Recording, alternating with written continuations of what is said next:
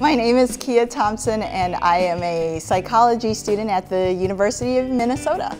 I initially started as a PSEO student in 2002 at Minneapolis College. After like X amount of years working, I decided that I needed to go back to school. It was like Minneapolis College. It's great education at a low cost. Coming here, I was gonna get the support that I needed. I worked on my generals, getting all my generals done for the MN transfer curriculum.